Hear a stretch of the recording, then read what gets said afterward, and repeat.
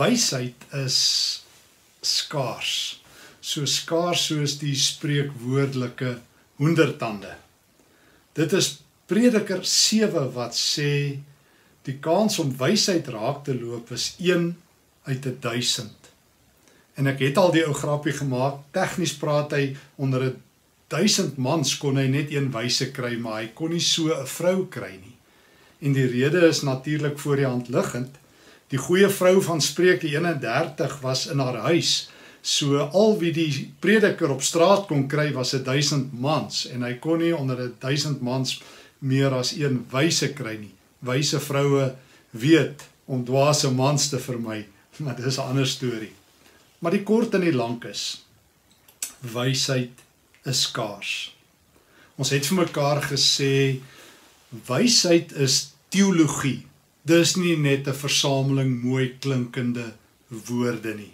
Spreuke versamel nie net mooi lewenswyshede nie. Wysheid is diep in God geanker. Wysheid is 'n personifikasie van God Ons het die vorige keer gesien dat wysheid so vertel 'n um, klompie gedeeltes ons vanaf Prede uh, Spreuke hoofstuk 1 tot en met Spreuke 9 wysheid word God gepersonifiseer. Wysheid met ander woorde is in die hart van God. Wysheid is 'n karaktereienskap van God. En nou word dit veral in Spreuke 8 en 9 gepersonifiseer as 'n vrou vrou wysheid uh, wat namens God oral mense uitnooi om wysheid te kom ontdek. En hierdie wysheid vind jy deur dit lewenslank na te jaag. Uh Spreuke 1:7 Spreuke 10:9 en 'n klomp ander tekste leer ons wysheid begin met die dien van die Here. Maar wysheid en geloof is nie sinonieme nie. Wysheid se vertrekpunt is geloof. Maar wysheid is meer as geloof. Want geloof maak mense nie per se wys nie. O, dis slegte nuus. Daar is 'n tweede bekering nodig in ons almal se lewens. Ek wil in 'n sekere sin sê geloof is God wat my kom soek, my opspoor en my vind en wysheid is my tweede keuse, my tweede bekering om die res van my lewe God te soek, om na te jaag en na hom te smag. Dis al vir 'n klomp jare dat ek self Bybelskole hou oor prediker en spreuke en wysheid. En my kosbare vrou Maritjie vra vir my, "Hoekom nog 'n Bybelskool oor spreuke?" En ek sê vir haar sodat Stefan kan woorde kry en verstaan en kan leer om wysheid na te jaag. So ek moet bely ek soek na wysheid. Ek soek ook na woorde om wysheid te beskryf. En miskien is dit vir my die beste om te sê wysheid is my reaksie op God se genade om die karaktereienskap van God wat die skaarsste op aarde is naamlik wysheid met alles in my na te jaag. Wysheid is om die hart van God raak te loop. Wysheid is om na God te smag. En daarom is wysheid alledaags bedoelende. Nee, dit is nie oral nie, maar wysheid is alledaags te soek. Dit is op die strate, dis op die markpleine, dit is in huise dat vrou wysheid haar wysheid uitstal. Die die storie van wysheid begin in 1 Konings hoofstuk 3. Uh die narratief wat ons inlei tot die groot Bybelse verhaal van wysheid en tot tot al die wysheidsgeskrifte wat meer is as Spreuke. In Rut kry jy wysheid, in die Psalms kry jy wysheid, Job het wysheid, klaagliedere. Maar maar die narratief, die verhaal wat ons aan wysheid blootstel, is daardie droom van koning Salomo in uh in die, in 1 Konings 3 hoor ek dat dat hy uh, in Gibeon was om daar te offer. En daar het die Here toe op 'n nag aan Salomo verskyn en in 'n droom vir hom gesê: Wat wil jy hê moet ek vir jou gee? Ja, ja, stop gou vir 'n oomblik hier.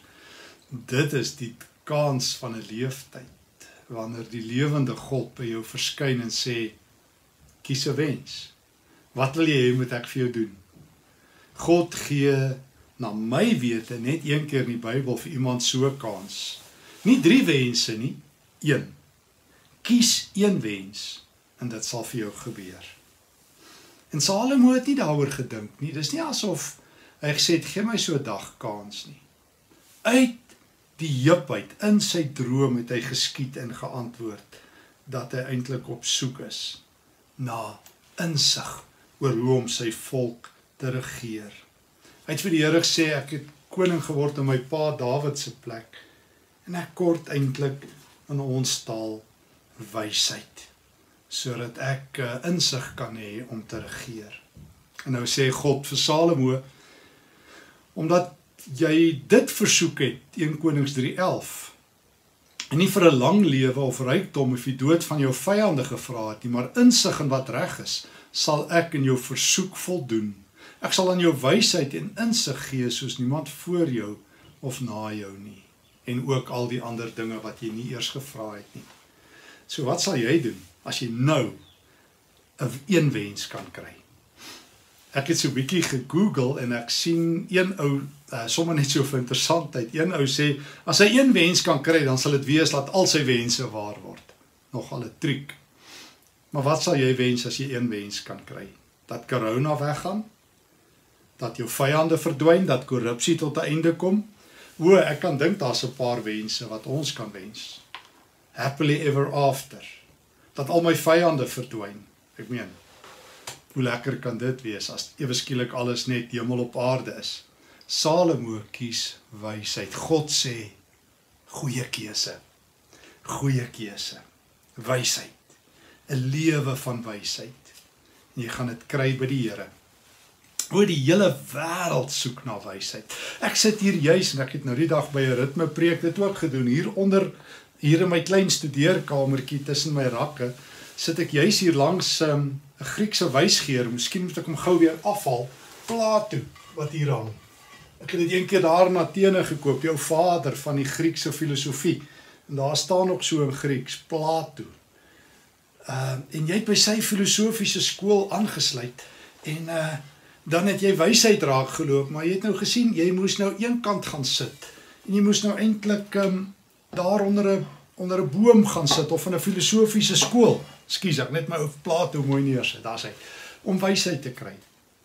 Maar God se wysheid is in die alledaagse wêreld en vir die alledaagse wêreld bedoel. En Salomo het reg gekies. Maar nou is die vraag: Hoe kry jy en ek wysheid? Wel, uh, ek ons sê vir mekaar wysheid is nie net beperk tot die Spreukeboek nie, maar ons gaan nou in Spreuke weer kyk. Maar Jakobus werk ook met wysheid. En hoor wat sê Jakobus? As een van julle wysheid kort kom, Met ander woorde, Jakobus 1 vers 5. As een van julle te min wysheid het, hm, 999 van ons, Prediker 7 van ons mans in elk geval, het te min wysheid. Jou kans om wysheid te hê, 1 uit 1000. Jo, dis min. So as een van julle, een van julle wysheid kort kom. Nou wel ehm, van die 1000 kort 999 wysheid. En hoe gaan ons dit kry as een van julle agterkom julle te min wysheid? Wat sê Jakobus? Moet hy dit van God bid. En hy sal dit aan hom gee. Hy sal dit aan hom gee, want God gee aan almal sonder voorbehou en sonder verwyte. Maar 'n mens moet gelowig bid en nie twyfel nie, want hy wat twyfel, soos 'n brander op die see. So hoe kry jy wysheid? Jy vra dit vir God. Wat doen God? Hy gee dit. Hy gee homself soos wat hy homself in liefde gee in Christus, so gee God homself deur wysheid. Want wysheid is om in die hart van God te wees. Wysheid bid jy van God af. Maar Spreuke leer ons verder en nou wil ek jou weer uitnooi na Spreuke toe. En ehm um, met name na Spreuke hoofstuk 2 en 3. Ons het vir mekaar gesê nou die dag dat uh, en jy sou gesien het op die notas wat beskikbaar is ook op ons e-kerk webblad uh by ons Spreuke Bybelskool dat Spreuke 1 tot 10 uh of Spreuke 1 tot 9 'n aantal gesprekke is. 'n tiental gesprekke. Hierdie eerste 9 hoofstukke wat elke keer begin met die woorde my seun. Dit is 'n pa wat besig is by wyse van spreuke om 'n jong mens te onderrig in wysheid.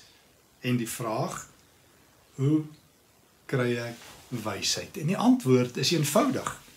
Jy bid daarvoor Jakobus, maar Spreuke 2 en 3 wat minder van gebed gebruik maak as die res van die Bybel, sê jy oefen jou in wysheid. 1. Kom ons gaan kyk. Uh Spreuke hoofstuk 2. Jy kry vir jou 'n goeie leermeester. My seun, neem aan wat ek vir jou sê. Dis nou Spreuke 2 vers 1. Spreuke 3 vers 1. My seun, wat ek aan jou leer, moet jy nie vergeet nie. Hou vas aan wat ek jou voorskryf.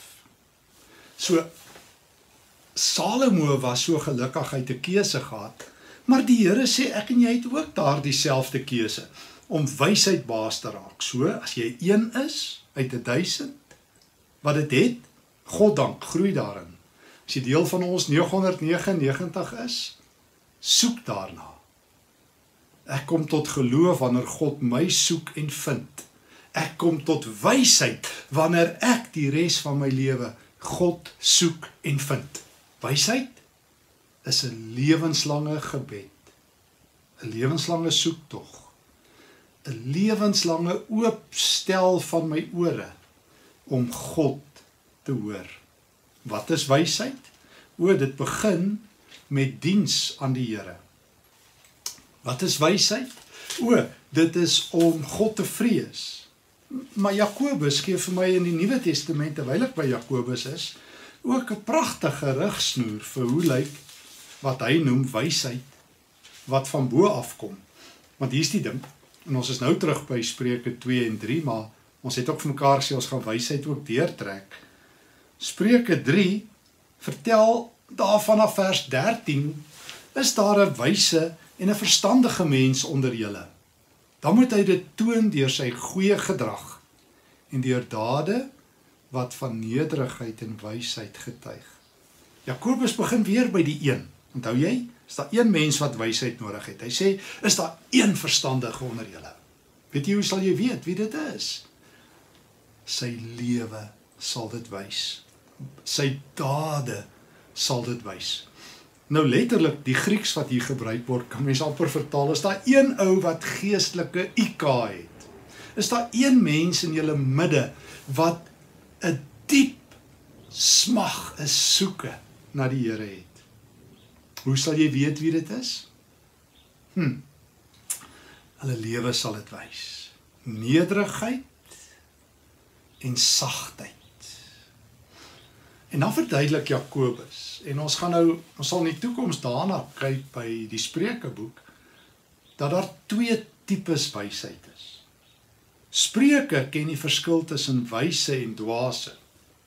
Jakobus ken die verskil tussen wyses en wyses in aanhalingstekens of soos wat hy dit noem hemelse wysheid en aardse wysheid. Jakobus vat so 'n bietjie 'n ander roete. Hy sê kyk mens hoef nou nie meer na almal te verwys as dwaase nie. Hy sê maar maar jy moet eintlik maar sê daar's aardse wysheid, maar maar gedoorie waar. Dit klink nie goed nie. Kom ek lees vir jou. Vers 14 Jakobus 3. Terwyl daar bittere naaiwer en selfsug in julle harte is, moet julle nie daarmee spog dat julle wysheid het nie. Want dan praat julle nie die waarheid nie. Die soort wysheid kom nie van bo nie. Dit is aards, sinlik demonies. Want waar daar naaiwer en selfsug is, is daar wanorde en allerlei gemeene dade. So Jakobus ken 'n aardse demoniese wysheid en dit het twee kenmerke, naamlik selfsug en uh selfgelding. Met ander woorde selfsug, ek gun niemand niks, soos Kain in Genesis 4. Ehm um, ek as my broer iets het wat ek wil hê, naamlik God se aangesig, dan gaan ek my broer vermoor. Jaloesie, selfgelding, ek is alleen belangrik. So klink aardse demoniese wysheid. Maar wysheid wat van bo kom, Jakobus 3 vers 17, is sonder bybedoelings. En verder vredelewend, inskikkelik, bedagsaam, vol medelee en goeie vrugte, onpartydig en opreg. So ons vraag vandag, hoe kry ek wysheid? Salomo was gelukkig, hy het 'n hy het 'n keuse gehad. Hy het 'n droom gehad, kies Salomo, maar jy en ek ook. Is daar een ou onder julle wat wysheid soek? Here, ek steek my hand op saam met Salomo. Jakobus 1, bid. Uh is daar iemand wat wysheidsintelligensie kort kom? Jakobus 3. Nou ja, laat jou lewe dit wys. Hoe sal 'n wyse lewe lyk? 'n Lewe van nederigheid en sagmoedigheid. Terug na Spreuke 3. So ons begin 'n prentjie kry hoe lyk wysheid. Dis 'n lewenslange najaag deur 'n gelowige van die hart van God. Die hart van nederigheid, van sagmoedigheid, van vredelewendheid Dit is die goeie vrugte.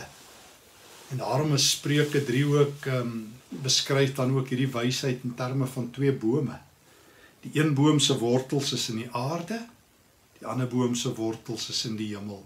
Jy groei dus vanuit die hemel kry jy jou krag. Dis hoe wysheid loop. Boomwortels by God en die krag groei af aarde toe.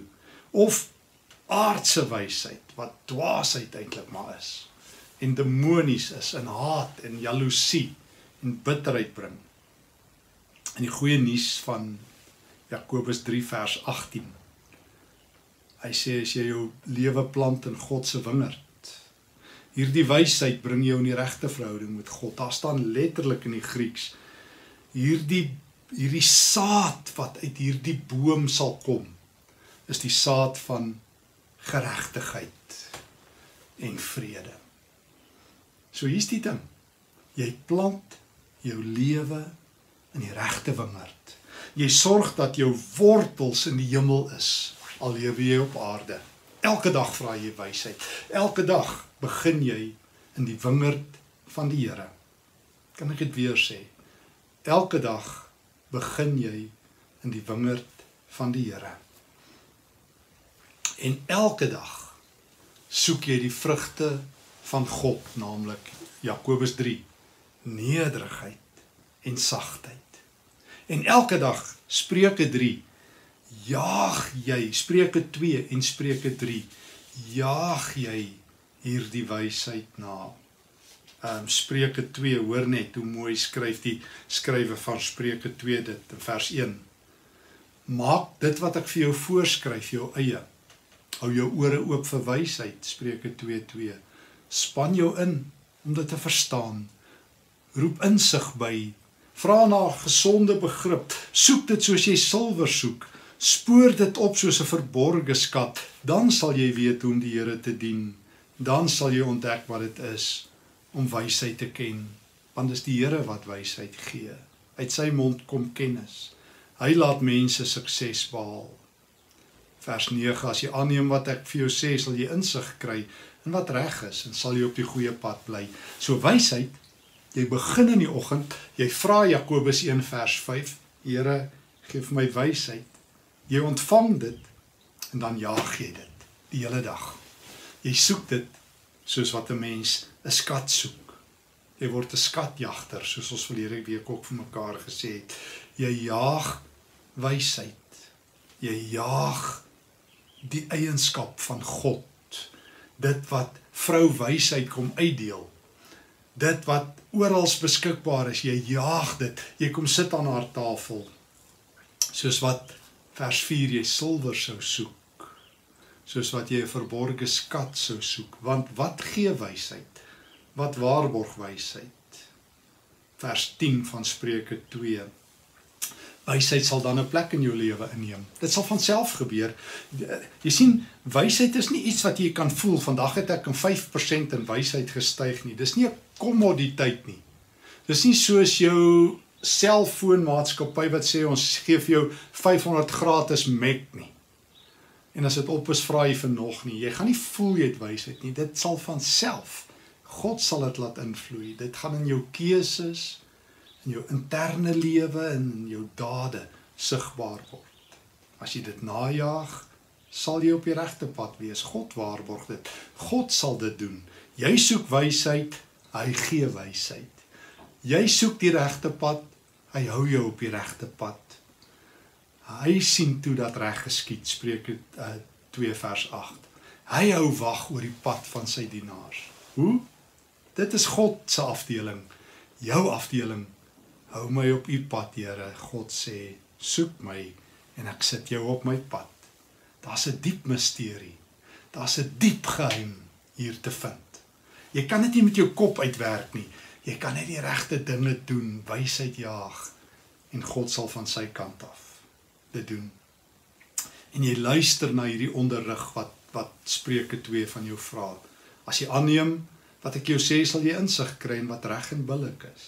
En so sal jy op die goeie pad bly. Vers 10 weer 'n keer. Wysheid sal 'n plek in jou lewe inneem. Kennis sal vir jou iets aangenaams word. O, jy sal nie genoeg kry van 'n lewe van vrede en geregtigheid en reg nie.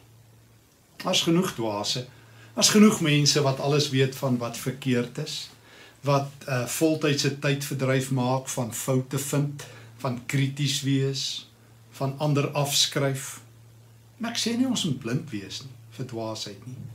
Maar wysheid sit my op 'n pad van vrede en vreugde. Dit sal jou weghou Spreuke 2:12 van die verkeerde pad af. Van die wat die ehm um, en van mense wat die regte pad verlaat het. Dit sal jou weghou van 'n ligsinnige en 'n sondige lewe. Spreuke 2 en 3 vertel juis van seksuele immoraliteit. Dit sal jou laat loop vers 20 van Spreuke 2 op die regte pad. Maar dan dan moet jy dit elke dag onthou. Spreuke 3 vers 1. Jy moet jou gedagte wêreld inoefen om anders te dink. Nog 'n belangrike ding. Spreuke 2 en 3 werk ook met Hebreëse woorde van insig, van kennis, van onthou, van naspeur, van soek en vind. Bedoelende. Dis 'n aktiewe handeling. Jy doen dit intentioneel. Jy soek dit intentioneel. Jou ingesteldheid is die van 'n openheid na God en 'n ruggekeerdheid na wat verkeerd is. Dis die doelbewuste keuse van Here, ek gaan op u pad wysheid vandag jaag, 'n lewe van nederigheid, 'n lewe van sagmoedigheid, 'n lewe van insig, 'n lewe van kennis, 'n lewe van God. En Here, ek gaan met dwaase paaie kruis, maar my fokus gaan op U wees. En daarom gebruik dit die die dele van ons van ons brein, ons geheue. Ons dink. Ons reflekteer. Ons soek. Ons smag. Ons leef nuuskierig. Hm. Dis 'n belangrike ding. Moenie vergeet nie. Ehm um, vers 2. Dit sal vir jou 'n lang lewe verseker. Spreuke 3 wat ek nou by is. Jy sal guns by God en mense verwerf as jy wysheid het. Vers 5 Vertrou volkome op die Here. Moenie op jou eie insig te staat maak nie. Dit sal jou lewe Godwaarts vat. Ken hom in alles wat jy doen. Daai bekende woorde, Spreuke 3:6. Hy sal jou op die regte pad laat loop. Jy ken die Here. Jy vra wysheid. Jy soek hom. God sorg jy's op die pad. Moenie bekommer nie. Hy sorg deur sy gees. Ehm um, vir my wat sleg is, Spreuke 3:7. Moenie dink jy het al al die wysheid nie. Vereer die Here uit al jou besittings. Jou skure sal oorvol wees. Aanvaar sy tugtiging, sy raadgewing, nie straf nie, want dis mos nou af. Jesus het betaal. Daar die ou vertaling vertaal nog, hy straf die wat hy liefhet. Daar staan liewer hy onder dit is liewer hy leer, hy tugtig, um, hy hy dissiplineer. Straf is om terug te kry, dissipline is om jou vorentoe te kry. God is nie meer besig om my te straf nie. Jesus het dit gevat. Maar dissipline is om my te leer om nie weer dieselfde foute te maak nie. Nou het ek 'n harde woord gesê, leer nou uit hoe dit verhoudings gebreek het. Dis dissipline. En moet dit nou nie weer doen nie. So leer die Here my. En ehm um, dit gaan goed met die mens wat wysheid gevind het, wat insig het. Dit is meer werd Spreuke 3:15 as edelgesteentes wat jy ook al as kosbaar beskou vergelyk nie met wysheid nie. Vers 17 Dit bring rykdom en eer, 'n lang en 'n vol lewe, 'n bron van lewe. O, wysheid is om in die skatkamers van die Here te bly. Nie net dit te soek nie, dit te vind en daar te bly. En om ander mense te nooi. Dit is daardie woorde wat Paulus gebruik in Filippense 4 wat verseker wysheidstaal ook is. Dat die vrede van God wat die hart en die verstand te bowe gaan sal oor jou lewe wag hou. Dit is om een van die Here se geseëndes te wees wat die Shalom, die vrede van die Here ken.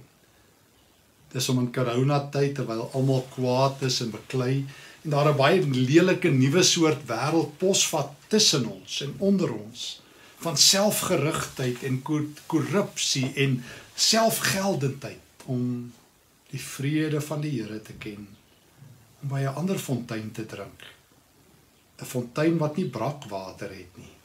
Fontein wat lewe het en om uit die wysheid te kan deel om om hiermee te kan lewe. Wyse mense, Spreuke 3 vers 27, is mense wat goed doen. Is uh, mense wat vrygewig lewe. En ons sal nog daarby kom. Maar maar belangrik om vandag vir mekaar te sê. Ons dink Salomo was gelukkig. Hy het eendag 'n keuse gehad. Die Here sê jy het daai selfe keuse. Is jy daai een ou wat wysheid kort? Jakobus 1 vra dit van my. Jakobus 3 is jy daai een mens wat geestelike intelligensie kort? Kom soek dit. Hoe? Sorg dat jy jou lewe in die regte wingerd plant. Die een met die boomwortels in die hemel by die Here. Anders dan gaan jy aardse wyse wees en dis eintlik dwaasheid.